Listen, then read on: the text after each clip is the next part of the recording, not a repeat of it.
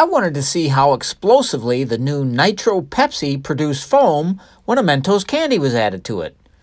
Nitro Pepsi is pressurized with nitrogen gas in addition to carbon dioxide. For the test, I very gently poured some regular Pepsi and Nitro Pepsi into two different graduated cylinders and then added a Mentos candy to each cylinder. The Nitro Pepsi may have an explosive sounding name, but it didn't fare so well as you can plainly see. I next tried adding a Mentos candy to each open beverage as a second test. Let me know in the comments if you test for yourself how regular and Nitro Pepsi perform in this experiment. Happy experimenting!